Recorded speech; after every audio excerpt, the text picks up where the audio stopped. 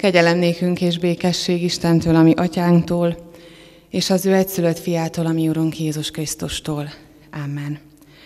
Kedves testvérek, Isten tiszteltünk kezdetén fennállva 150. Zsoltárunk első versét énekeljük. 150. Zsoltárunk első verse így kezdődik, dicsérjétek az Urat, áldjátok ő szent voltát.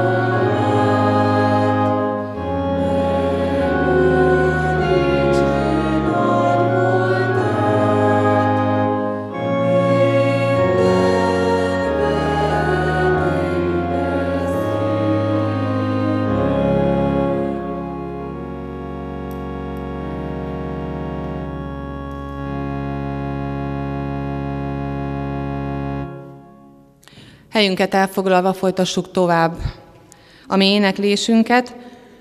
236-os számú dicséretünknek énekeljük az első öt versét, 236-os számú dicséretünk első öt versét énekeljük, első verse így kezdődik, mindenek meghallják és jól megtanulják.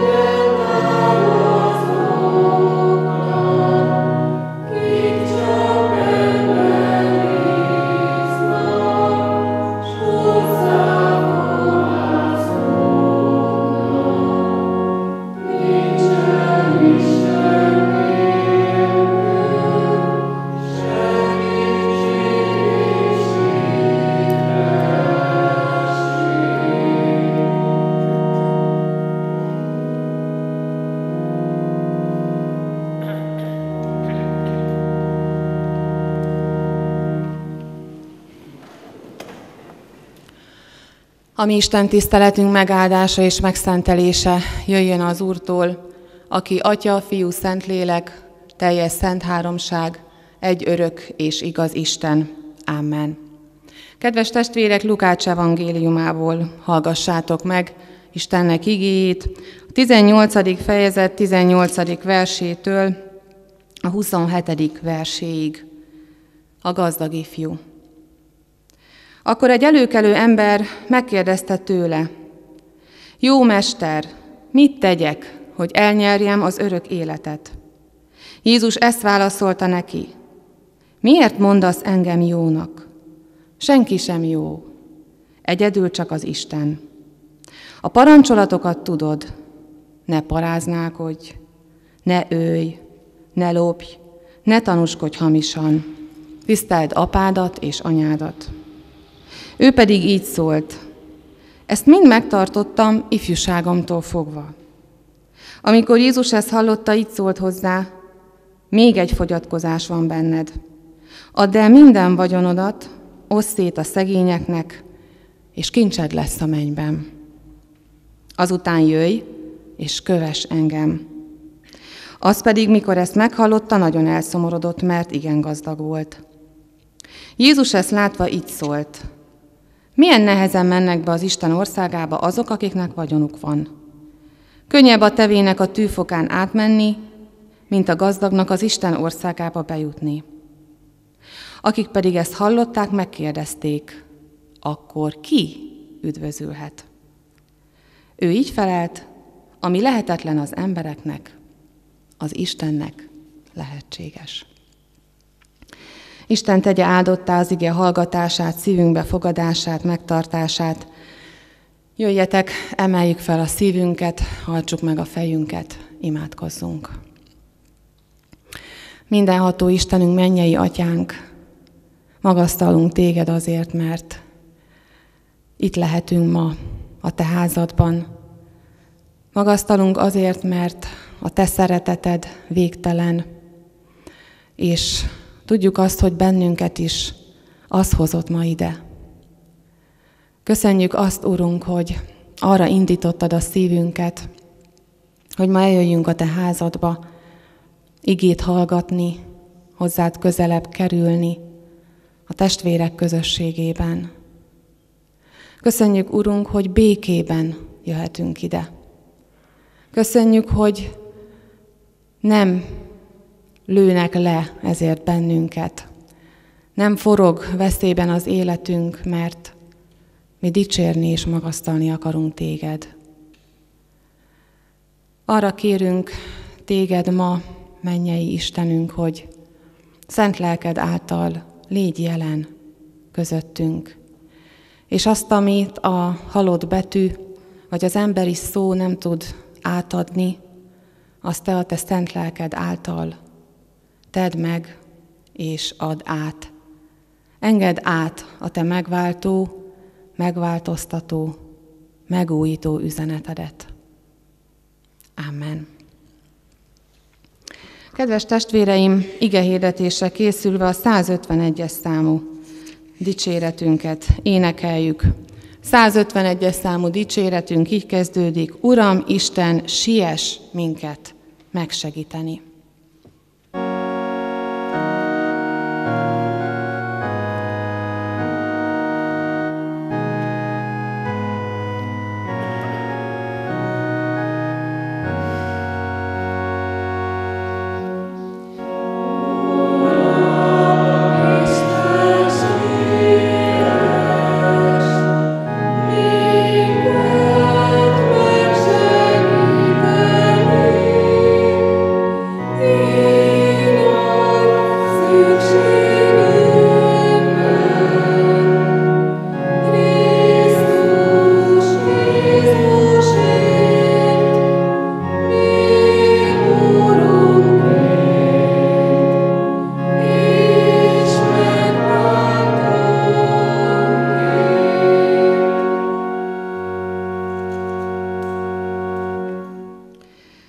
Már olvasott Lukács evangéliumából 18.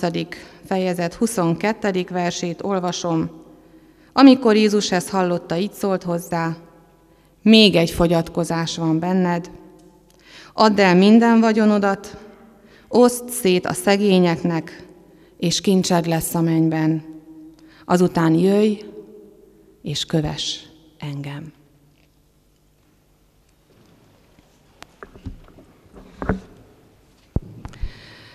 Kedves testvéreim, szeretett gyülekezet, biztos vagyok abban, hogy mindannyian, akik itt ültök, és itt vagytok ezekben a padokban, szeretnétek szorosan Jézus Krisztus nyomában járni. Szeretnétek mindannyian valamilyen szinten Krisztushoz tartozni. Szeretnétek keresztjének lenni.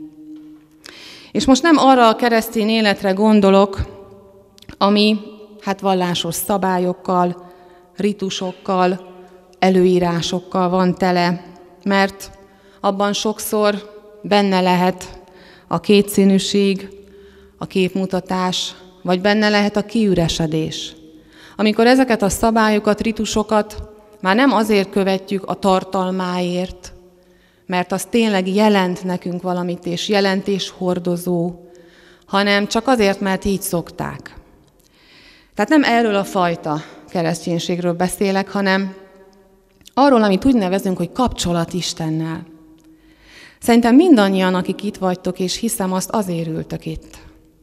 Mert valamiféle kapcsolatra vágytok Istennel. Egy lélek melegítő közelségre, ami a Jézus Krisztussal való mindennapos együttjárást jelenti. A Jézus Krisztussal való kézenfogva járást jelenti. Amikor arra megyek, amerre ő vezet engem. Egy gazdag és mély, bensőséges kapcsolatra, amelyeket nem biztos, hogy az előírások és a szabályok határoznak meg. Nem a ritusoknak való megfelelés, hanem egy szabad kapcsolat az Úr Jézussal. És itt nem a szabályok és a ritusok ellen szeretnék ma beszélni, hiszen nagyon jól tudjuk azt, hogy az Ószövetségben ezeknek helye volt. Sőt, nem csak helye volt, hanem kellett, hogy legyenek. Az Ószövetségnek a szabályai, a törvényei, a ritusai hozzátartoztak a mindennapokhoz, és igazából az Ószövetségi nép túlélését biztosították. Azért kellettek, hogy tudja ez a nép, hogy merre kell menni, hogy mit lehet és mit nem lehet. És kellenek is ezek a szabályok, hiszen mi magunk is tudjuk, hogy ha az iskolába azt mondanánk, hogy mindenki akkor jön be, amikor akar, akkor lehet, hogy nem nagyon nézne arra senki se. És sorolhatnák még sok ilyen példát. Tehát megvannak a határidők, megvannak, hogy mikorra kell odaérkezni, a gyereknek is hányra kell iskolába jönni, hányra kell munkahelyre odaérni, és mi is a saját gyerekeinknek szabályokat állítunk föl, hogy mit lehet és mit nem lehet. Kötelességek és tiltások része volt az ószövetségi életnek, és kellett és szükségük volt rá, mert ha nem lett volna, anarchia lett volna. És ha ma is nem lennének szabályaink, akkor anarchia lenne. Az Ószövetségi népnek nagyon sok ilyen szabálya volt és tilalma volt. Tulajdonképpen Mózes 5 könyvéből már a harmadik könyvben találkozunk vele, de az ötödik könyv végig erről szól, hogy mit lehetett nekik és mit nem lehetett nekik. Az új szövetség azonban valami mást hoz. Jézus Krisztus megjelenésével, színre lépésével egyszer csak feje tetejére áll ez az egész, és Jézus a kegyelemről kezd el beszélni. Jézus nem azt mondja, hogy nem kellenek a szabályok, hanem azt mondja, hogy nem ez az, ami üdvözít. Nem attól kerülsz be a mennyek országába, nem attól üdvözülsz, hogy te ezt a nem tudom hány ezer szabályt maradéktalanul betartod. Nem a szabályok követése fog téged a mennybe juttatni, nem azért fogsz piros pontot kapni, mert jó vagy, és akkor így valahogy be verekeded magad a mennyországba. Jézus azt mondja, hogy fogadj be engem, higgy bennem, és kövess engem. És ha engem követsz, akkor majd meglátod, hogy amúgy ezek a szabályok, amik vannak, majd belülről jönnek. Nem egy kívülről rád erőltetett valami lesz, aminek fejet hajtasz, és hát kénytelen, kelletlen, de muszáj megtenni, hanem te is magadénak érzed majd. Így lesz a heteronóm szabályrendszerből autonóm szabályrendszer. Megpróbálom lefordítani a mindennapi nyelvünkre. A gyerekem nem csak akkor fog nekem engedelmeskedni, amikor ott vagyok, nem csak akkor tartja be, amit kérek tőle, hanem akkor is, amikor nem vagyok ott. Mert már ő is így gondolja, mert már ő is azonosult ezzel a dologgal. Teljes fordulat a gondolkodásmódban, és hát el tudjuk képzelni azt, kedves testvérek, hogy az a nép, aki mögött több ezer év ószövetségi szabályrendszer, törvények, tilalmak, tíz parancsolat, nem tudom mi van, és erre építették fel az életüket, hogy ugye Jézus előáll ezzel, és összezavarodnak. De akkor ezt nem értik, hogy micsoda, hogy megkérdőjelezed azt, ami eddig volt. Megkérdőjelezed azt, amin, amin ezen mentünk, ami betonba volt vésve, és nem is megkérdőjelezed, hanem te valami egészen mást akarsz, valami egészen mást mutatsz. Összezavarodnak. És akkor találkozunk ezzel a gazdag ifjúval is, akiről ugye Lukács evangéliuma ír, oda megy és megkérdezi, jó mester, mit tegyek, hogy elnyerhessem az örök életet? Azt a kérdést teszi fel tulajdonképpen, amivel kapcsolatban ő összezavarodott. És nem csak ő, hanem ugye még sokan körülötte, de ő oda mer menni és megmeri kérdezni, hogy de akkor most hogyan tovább? Eddig jöttünk egy úton, és te most mást akarsz, mást mutatsz. És mivel Jézus nagyon jól ismeri azt a szabályrendszert, azt a hátteret, amiben ez az ifjú nevelkedett, ami a sajátja volt, amit ugyanúgy beívott a saját maga ö, kis agyába, így szocializálódott, így nevelkedett, ezért először a tíz parancsolatot idézi neki. Tehát megmutatja, megmutatja neki azt a hátteret is nyilván. Ö, tartsa be a törvényeket. És kihúzza magát az emberünk, és azt mondja, hogy akkor jó. Mert hogy én ezeket mindegyiket betartottam. Jó vagyok, rendben vagyok, elégedett vagyok magammal, csillagos ötös. Kisé önhit, érezzük. De úgy, úgy kihúzza magát, mert igen, ennek én meg tudtam felelni. Viszont, kedves testvérek, amiért ez a történet le lett írva ide a Bibliába, és ami nekünk is örök tanulság, hogy Jézus nem áll meg itt. Nem áll meg itt, hanem azt kérdezi, egy dolognak még híjával vagy. Mindenedet, amit csak van, add el, és osszét szét a szegények közt, és kincsed lesz a mennyben. Aztán gyere és kövess engem. Jézus itt nagyon radikális dolgot kér ettől az embertől. Rámutat az életében arra a pontra, amiben neki változni kellene, amit neki el kellene engedni. Nem azzal van a gond, hogy ennek a ifjúnak ott van a szívében a vágya arra, hogy ő üdvözöljön, mert ott van. Érezhetjük, keresi a mennyek országát. Kutatja, hát ezért próbál megfelelni minden törvénynek. Hanem azzal, ahogy ő ezt eddig próbálta. És Jézus itt nagyon keményen megmondja neki, hogy ez így nem elég. Változtatnod kell. Oda kell adnod a vagyonodat. Hát megmondom őszintén, kedves testvérek, hogy én ezzel a történetem, meg ezzel a példázattal mindig úgy voltam, hogy na ez rám tuti nem vonatkozik. Mert annyi pénzem sose volt, hogy én magamat úgymond gazdagnak mondhassam, és hogy én ezen elkezdjek gondolkodni, hogy nekem mit kellene szétosztani a vagyonok között. Mindig elintéztem azzal, hogy de hát ez pénzről szól, stb. ez rám nem tartozik. Itt viszont, kedves testvéreim, nem feltétlenül biztos, hogy pénzről van szó. Ugyanis itt, ha mögé látunk és mögé gondolunk, ennek az ifjúnak egy sajátossága volt az, hogy ő gazdag volt, igen. Sok pénze volt. De amikor Jézus ezt kéri tőle, hogy akkor mindenedet, amit csak van, osz szét a szegények között, akkor tulajdonképpen olyan, mintha azt kérdezné meg tőle, hogy hol tartod a szíved kulcsát. Neked ez a dolog az, ami akadály még, hogy valódi kapcsolatod lehessen Istennel. Neki igen, neki a pénze, neki a gazdagsága, a vagyona volt az, ami akadályt jelentett Isten és ő közte. Az ő szívének a kulcsa, az tulajdonképpen a pénzes ládikájának a kulcsa volt. Viszont azért nem rázhatjuk le magunkról, kedves testvéreim, ezt, mert a kérdés viszont nekünk is ugyanúgy szól. Neked hol van a szíved kulcsa? Hol van a mi szívünk kulcsa? Mert lehet, lehet, hogy nekünk nem a pénzünk, a vagyonunk, gazdagságunk az akadály, hanem nekünk valami mást kellene elengedni.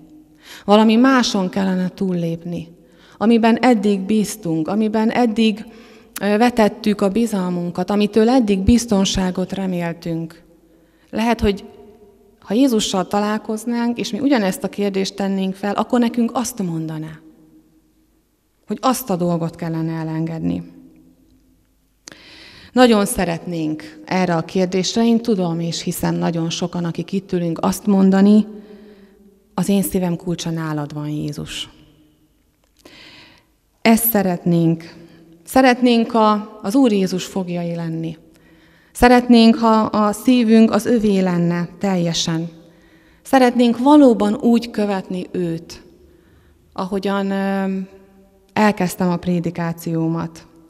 Ha ennek az igazságnak valóban a megtapasztalói lehetnénk, és az élő bizonyítékai, mások is voltak előttünk, kedves testvéreim, akik ugyanerre vágytak, akik a hit tökéletlen hősei voltak, akikről a Bibliában olvasunk, és akik gyengeségeik ellenére kedvesek voltak Isten előtt.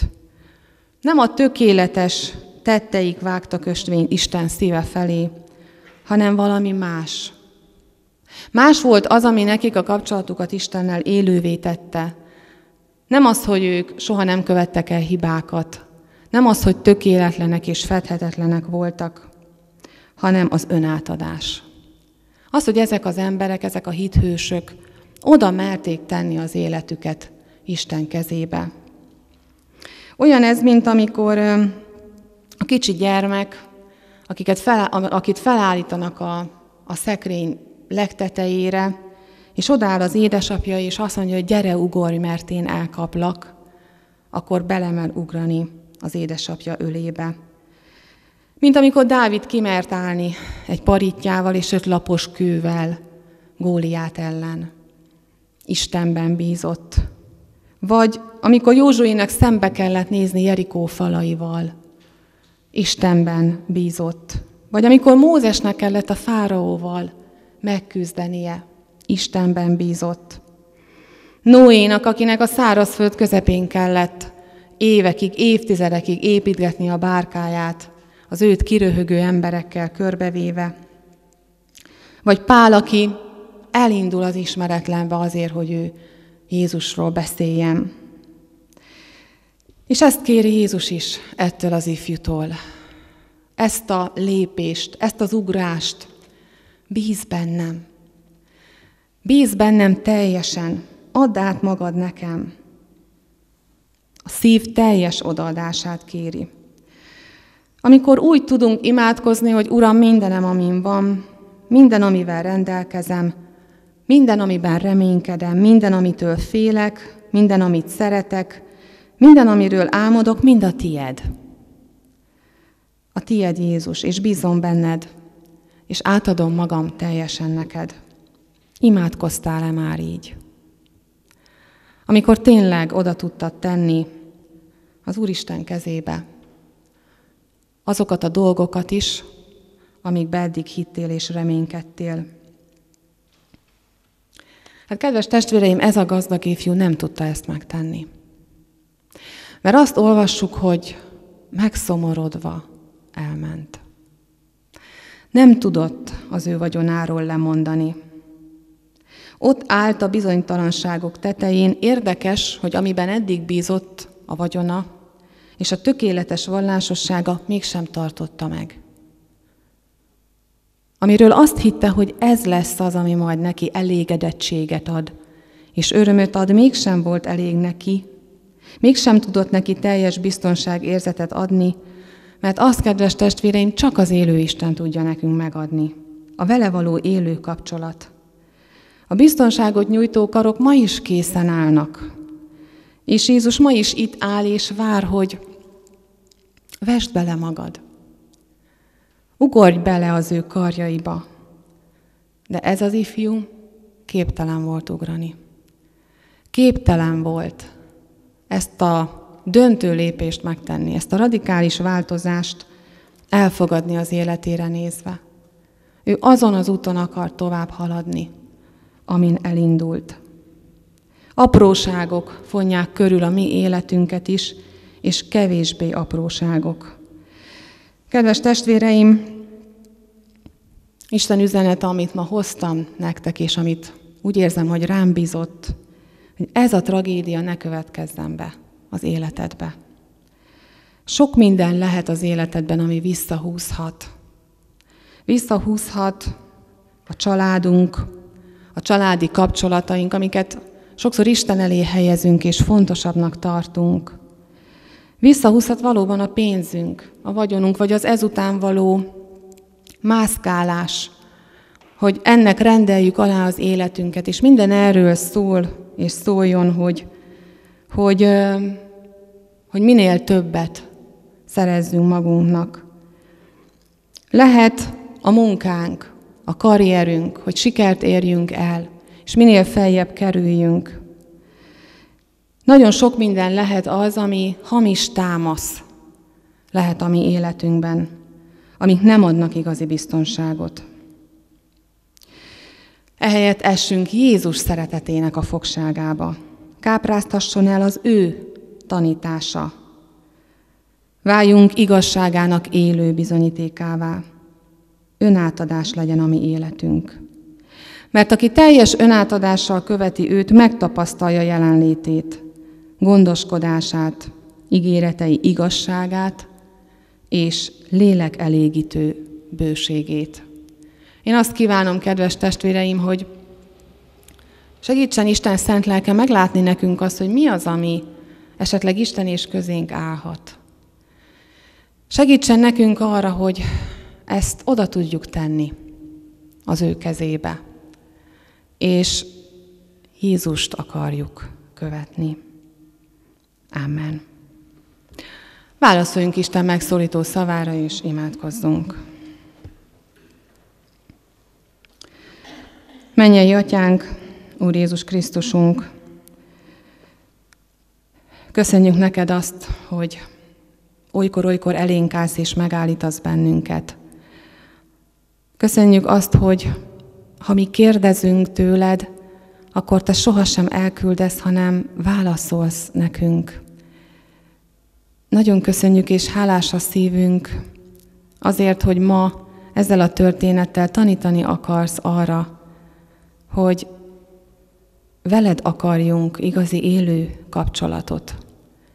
Köszönjük, Urunk, hogy ma rá akartál mutatni az életünkben arra, vagy azokra a dolgokra is, amelyek még visszahúznak, vagy akadályok lehetnek a mi életünkben, hogy hozzád közelebb kerüljünk. Kérünk, Urunk, segíts ebben nekünk, hogy megláthassuk azt, és indítsd a mi lelkünket, szent lelked által arra, hogy, hogy te legyél az első, te legyél a fontosabb, inkább téged válasszunk. Mennyei atyánk, megvalljuk neked azt, hogy tényleg annyira olyanok vagyunk, mint ez a gazdag ifjú. Abban is, hogy vágyunk arra, hogy, hogy hozzád kerüljünk, hogy a mennybe kerüljünk, a mi kérdésünk is sokszor ez, hogy hogyan üdvözülhetnénk. A szomjúság, a lelki vágyakozás ott van bennünk. De abban is sokszor hasonlítunk, Urunk, hogy ezt ki akarjuk érdemelni. Azt hisszük balgán, hogy ehhez nekünk bármit tennünk kell, hogy nekünk jónak kell lennünk ahhoz, hogy Te elfogadj és szeres bennünket. Köszönjük, Urunk, Jézus keresztjét, amin meg bocsátott nekünk, és elhordozta a mi bűneinket, és köszönjük a Te kegyelmedet, ami nem vár el semmilyen jó cselekedetet, és köszönjük azt a feltétel nélküli szeretetet, amivel újra és újra elénk jössz. Köszönjük, Urunk, neked ezt a mai napot is, a Te áldásaidat, a Te őrző védőkezedet. Könyörgünk, Urunk, hozzád azokért a gyülekezeti tagjainkért, akik halván a harangot mégsem jöttek, akik ma nincsenek itt, akik hiába szólt a harang, meg se hallották. Kérünk ezért a mezőtúri népedért, ami gyülekezetünkért. Könyörgünk azokért, Urunk, akik betegségek miatt nem tudnak itt lenni, és könyörgünk azokért, akik gyászt hordoznak az ő szívükben, akiknek el kellett engedniük szerettüket. Hisszük, Urunk, hogy Te vagy a mi gyógyítónk, Te vagy a mi vigasztalónk, és, és valóban a mi embereknek lehetetlen, az neked lehetséges. Urunk Istenünk, arra kérünk Téged, hogy jöjj velünk továbbra is ezen a mai napon is, és az elkövetkező héten is. Amen. Mi, Atyánk, aki a mennyekben vagy, szenteltessék meg a Te neved. Jöjjön el a Te országod, legyen meg a Te akaratod, amint a mennyben, úgy a földön is. Minden napi kenyerünket add meg nekünk ma, és bocsáss meg védkeinket, miképpen mi is megbocsátunk az ellenünk védkezőknek. És ne vigy minket kísértésbe, ne szabadíts meg a gonosztól, mert tiéd az ország, a hatalom és a dicsőség mindörökké. Ámen. Kedves testvéreim, helyünket elfoglalva hallgassa meg a gyülekezet a hirdetéseket. Alkalmainkat szeretném először hirdetni. Kedden 17 órakor bibliórát tartunk az újvárosi gyülekezeti teremben, Szerdán 16 órakor a Szentépár Református Idősek otthonában van, Biblióra csütörtökön 17 órától pedig itt belvároson a gyülekezeti kisteremben van. Biblióra. Vasárnap 9 órától Újvároson a templomba, 10 órakor itt a belvárosi templomban, és 4.12-kor a Szentépár Református Idősek otthonába tartunk istentisztelteket. Szeretettel hívjuk és várjuk ezekre az alkalmakra a testvéreinket. Temetés hirdetek az elmúlt héten eltemettük Deák Lajos született Boros Katalin 87 éves testvérünket. Ő a Szentipár Református Idősek Otthona néhai lakója volt. Isten adjon vigasztalást a gyászoló családnak. Adományokat hirdetek Persejpénz belvároson 13.350 forint volt, Újvároson 12.215, Isten dicsőségére 5000 forint érkezett. Köszönjük az adományokat, és kérjük, hogy adományaikkal kiemelten támogassák továbbra is az orgona felújítást. Sajtótermékeink a reformátusok lapjának legújabb száma és a templomról készített képeslap, illetve ez a kis újság a református élet, ami a kezemben van, elvihető a kiáratnál. Isten legyen gyülekezetünk őriző pásztora.